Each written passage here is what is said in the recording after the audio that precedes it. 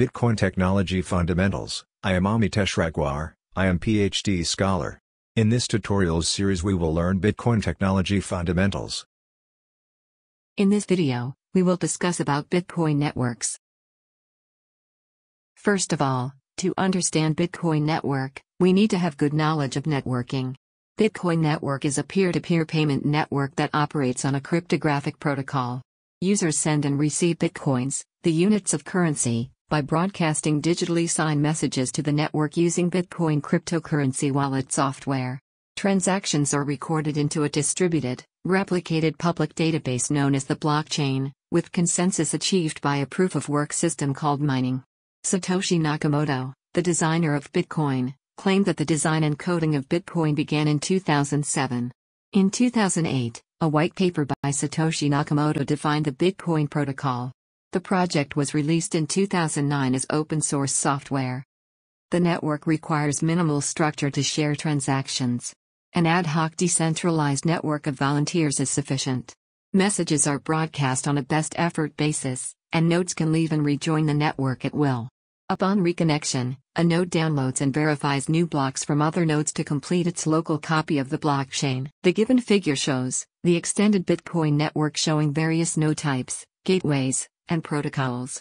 Here you can see how complex is networking in Bitcoin network. Bitcoin is structured as a peer-to-peer network architecture on top of the internet.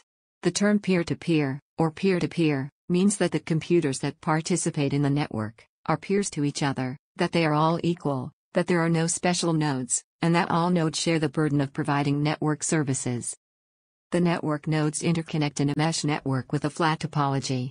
There is no server, no centralized service, and no hierarchy within the network.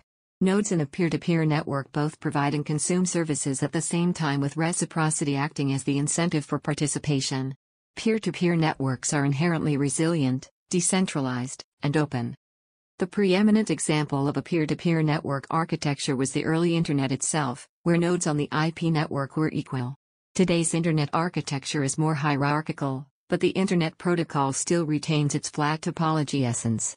Beyond Bitcoin, the largest and most successful application of peer-to-peer technologies is file sharing with Napster as the pioneer and BitTorrent as the most recent evolution of the architecture. Bitcoin's peer-to-peer network architecture is much more than a topology choice. Bitcoin is a peer-to-peer digital cash system by design, and the network architecture is both a reflection and a foundation of that core characteristic. Decentralization of control is a core design principle and that can only be achieved and maintained by a flat, decentralized peer-to-peer consensus network. The term Bitcoin network refers to the collection of nodes running the Bitcoin peer-to-peer protocol. In addition to the Bitcoin peer-to-peer protocol, there are other protocols such as Stratum, which are used for mining in lightweight or mobile wallets. These additional protocols are provided by gateway routing servers that access the Bitcoin network using the Bitcoin peer to peer protocol, and then extend that network to nodes running other protocols. For example, Stratum servers connect Stratum mining nodes via the Stratum protocol to the main Bitcoin network and bridge the Stratum protocol to the Bitcoin peer to peer protocol. We use the term extended Bitcoin network to refer to the overall network that includes the Bitcoin peer to peer protocol, pool mining protocols, the Stratum protocol, and any other related protocols connecting the components of the Bitcoin system. Wallet holders comprised of multiple devices, like desktops, laptops, tablets, and phones. Ergo, devices can connect disconnect, because the network is dynamic. Also, wallets load and verify transactions, blocks, upon reconnect. A transfer of bitcoins from one Bitcoin user to another. Containing an embedded script, a Bitcoin transaction is generated in a digital wallet and transmitted to the Bitcoin network. It is validated by a Bitcoin node and added to the blockchain based ledger by a miner. See Bitcoin script, Bitcoin wallet, and Bitcoin mining. An owner of Bitcoin is listed on the blockchain as the owner of the transaction. When an owner transfers Bitcoins to other parties, the ownership is recorded as a transaction on the blockchain. Effectively, the owner signs it over. The new owner is now listed on the blockchain as the owner. The blockchain contains a complete record of all Bitcoins and owners, also of all transactions.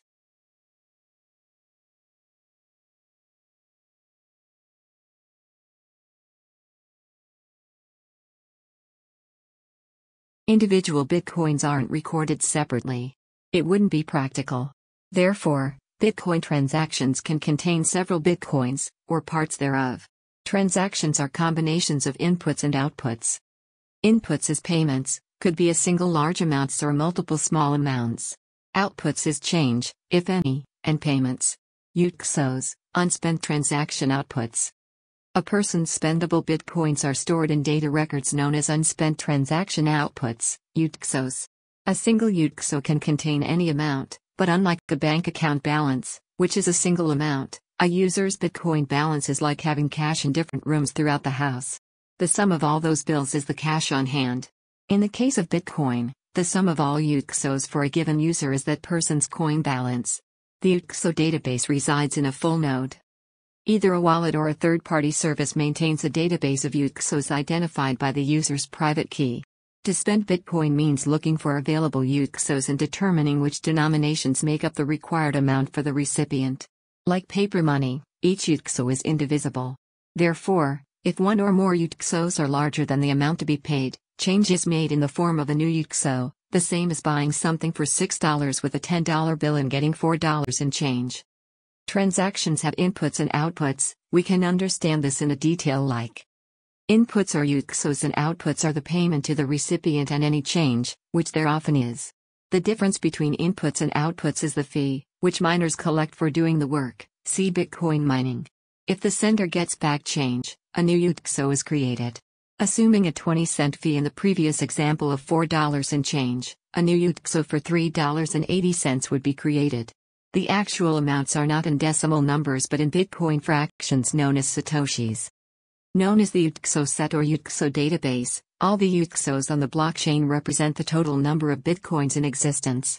The actual number constantly changes because UTXO inputs are removed and UTXO outputs are added.